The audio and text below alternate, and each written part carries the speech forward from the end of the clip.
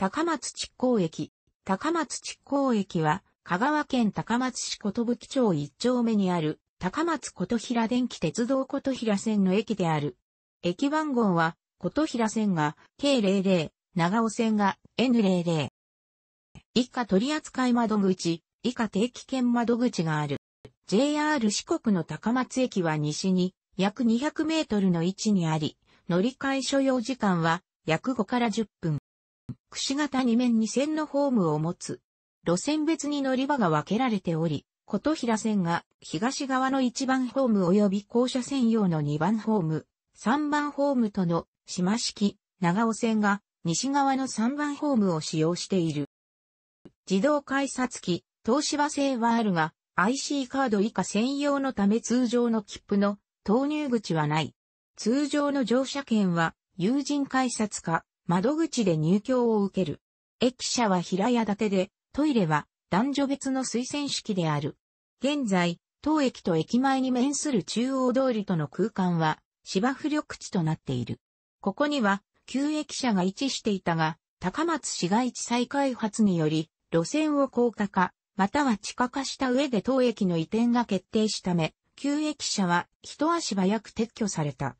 あくまで仮駅舎の名目で、現在の駅舎が建設されたが、その後の情勢変化もあり、この移転計画は最終的に放棄された。旧駅舎には、琴電グループが経営していた高松グランドホテルが入っており、当駅のホーム以外の駅舎部分は、その1階に曲がりする形だった。またこのビルは、高松琴平電気鉄道の本社ビルも兼ねていた。その時代には、ホテル内施設として、旧琴電グループによる土産物売り場や食堂路地が隣接していた。琴平線の河原町東駅間は、高松空襲の被害で廃止された市内線の代替路線として、戦後の1948年末に全線開通したものであり、当駅も開通と同時に開業した仮駅を経て1955年に現在地に開業した。それ以前のこの敷地は高松城の堀であり、現在一番ホームに隣接している堀が細長い東駅の敷地まで続いていた。2001年に高松駅前バスターミナルが供用開始されるまで、東駅前のバス乗り場は、琴電バスの始発、終着地だった。また、当駅の南方にあるコインパーキングの琴電玉も町パーキング同社の本社車庫があった場所である。現在も朝日町線を除く同ターミナル発着の全路線が経由する。突起な着物はことでバス。大阪バスが2013年7月から2014年1月まで運行していた高速バス、高松特急ニュースター号高松地港停留所、2013年11月30日まで、停車は8番乗り場に併設されていた。ポールは2019年1月現在も残っている。なお、朝日町線は東駅北の水木鳥上にある高松港バス停に停車する。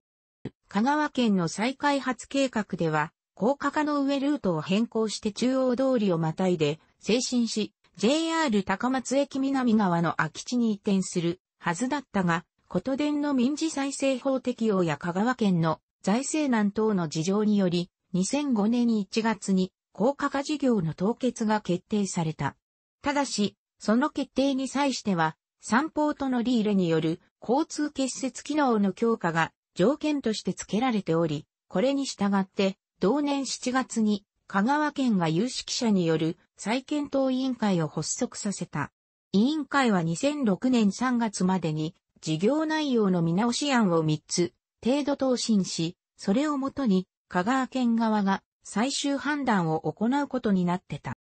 最終的に委員会は5回開催され、当初予定よりも大幅に遅れて2009年5月にの3案を県に答申して解散した。事業費は1の場合340億円、2は200億円、3は60億円と試算された。なお、現在の事業計画では2010年度が事業完了年度となっており、同年度末には事業認可が切れるため、それまでに香川県は事業の再開、中止の決定を求められることになった。第3案が採用された場合には、当駅の移転は行われない可能性があった。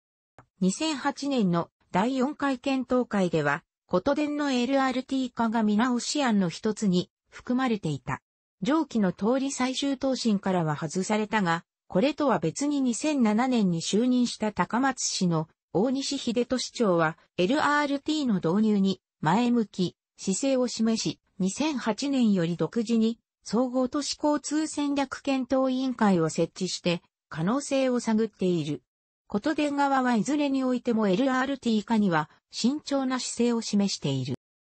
香川県の真鍋武則知事は2009年10月6日の定例県議会本会議で現状では再開のめどが立たず、来年度末までの事業認可期間の延伸も非常に困難と述べ、事業の中止に向けた意向を示した。知事は10月24日に、県の公共事業再評価委員会に事業について下地、再評価委員会は2010年2月10日に事業中止の答申を行った。これを受けて2月25日の香川県議会で、真鍋知事は計画の中止を正式に表明した。ただし、将来の再開に備えて、都市計画決定自体は取り消さずに残す見通しと報じられている。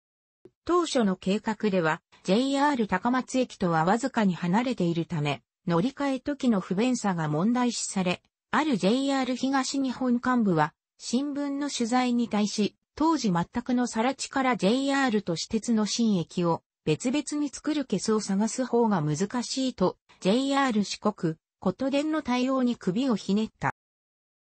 中止表明に際して、真鍋知事は、両駅間の連絡については、屋根付き歩道や案内標識を整備することにより、利用者の快適性や利便性の向上を図っていくと述べ、これを受けて2010年7月に、それまで JR 高松駅入り口からタクシー乗り場までであった歩道の屋根が中央通りの交差点手前まで延長された。